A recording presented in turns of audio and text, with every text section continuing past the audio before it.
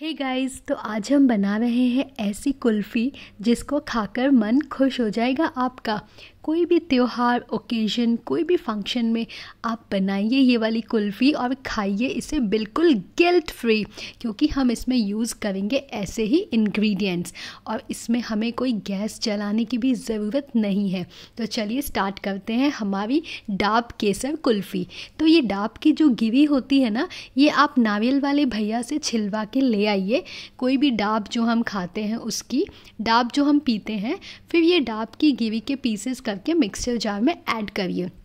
फिर लीजिए half cup भिगोए हुए काजू। काजू छः सात घंटे के लिए भिगो दीजिए, तभी ये रिच क्रीमी वाला टेक्सचर देंगे, जो वो विपिंग क्रीम देती है ना बट वो इतनी हेल्दी नहीं होती है हमारे लिए। अब हम इसमें ऐड करेंगे। वन फोर्थ और दो चम्मच जैगरी पाउडर आप इसमें ब्राउन शुगर भी यूज़ कर सकते हैं या कोकोनट जैगरी भी यूज़ कर सकते हैं। फिर मैंने लिए हैं ये चार खजूर। ये बिल्कुल वो सॉफ्ट वाले खजूर होते हैं ना, इनका बीज निकाल कर इसमें ऐड कर दीजिए।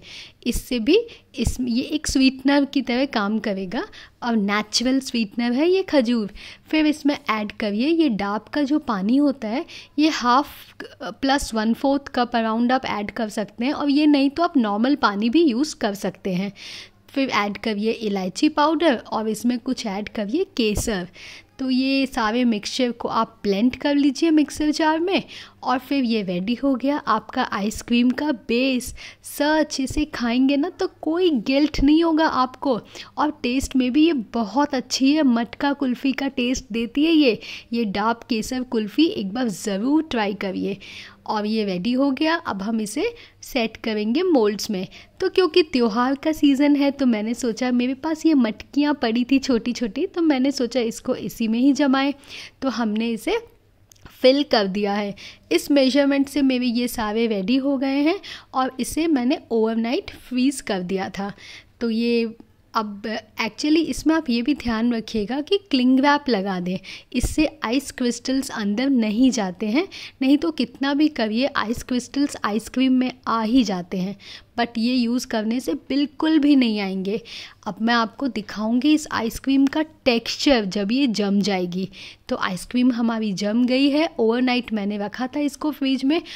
और ये मैं आपको काट के भी दिखाती हूँ कि ये कितनी सॉफ्ट है। ये बिल्कुल भी वैसी हार्ड नहीं है जिसको हमको काटने में भी प्रॉब्लम आए।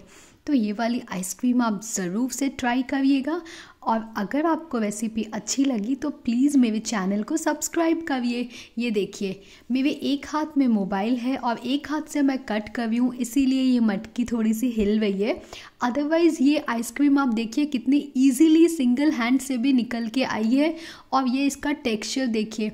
तो ये आइसक्रीम आप ज़रूर ट्राई करिए इस होली के सीज़न में और गर्मियों में आपको ये आइसक्रीम इतनी राहत देगी कि वो गिल्ट नहीं होगा कि हमने क्यों मार्केट के आइसक्रीम ला के कंज्यूम की है क्योंकि गर्मियों में आइसक्रीम और ठंडा तो हमें बहुत अच्छा लगता है खाना।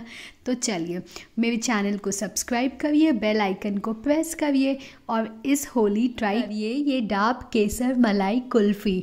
अगर आप वेट लॉस जर्नी पे हैं या अगर आप कोई फिटनेस प्रोग्राम फॉलो करते हैं तो ये वाली आइसक्रीम आप ज़रूर से खा सकते हैं। तो इस होली खेलिए रंगों के साथ, ना कि अपनी हेल्थ के साथ। Thanks for watching take care